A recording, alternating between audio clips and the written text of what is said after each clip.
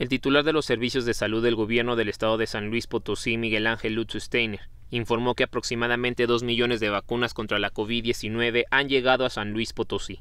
Aunado a ello, detalló que en territorio potosino se han aplicado vacunas de Pfizer, AstraZeneca, CanSino y Sinovac, siendo el biológico de AstraZeneca el que más se ha aplicado entre la población. De Pfizer prácticamente se han aplicado todas las que han llegado al estado, son 687 mil 180, nuevamente, esta es información eh, reciente que fue vertida en el Comité Estatal eh, del COVID-19 que preside, del Comité de Emergencias contra el COVID-19 que preside el gobernador y que eh, incluye las últimas entregas. En el caso de AstraZeneca, son 830.180, José Luis, que habían llegado antes de la semana y en los últimos días eh, de la semana anterior llegaron más de 132 mil. Eso eh, está eh, como adicional a esta cifra.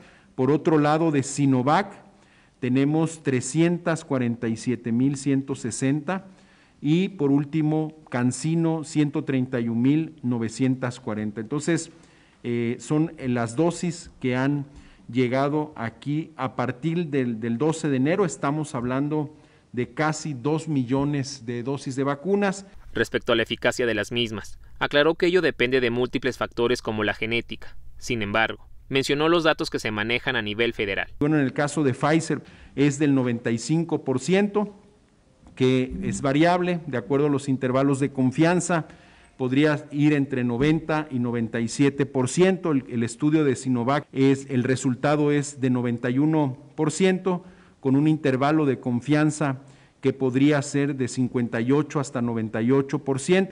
En el caso de AstraZeneca, en un, en un estudio, la eficacia fue del 76% y varió entre 68 y 82% a las dos semanas después de haber recibido la segunda dosis. Y la vacuna Cancino, que tiene una eficacia del 68% para la prevención de las enfermedades sintomáticas. De acuerdo con el funcionario, la Organización Mundial de la Salud determinó que las vacunas que tuvieran 50% de eficacia o más podrían ser sujetas a tener un valor importante en términos de salud pública, es decir, que aquellas que tuvieran una eficacia menor al 50% no son recomendables para su uso en el contexto de la epidemia. Lutz Steiner explicó que todas las vacunas aprobadas cuentan con una protección de enfermedad grave y muerte por COVID-19 de casi el 100%.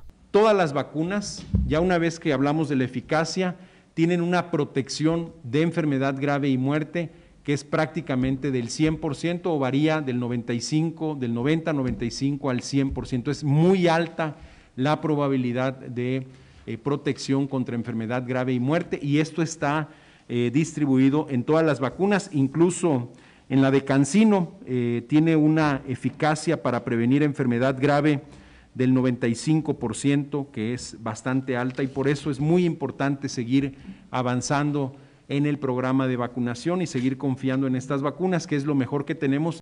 Con edición de Salvador Covarrubias, José Luis Vázquez, Noticieros Canal 7.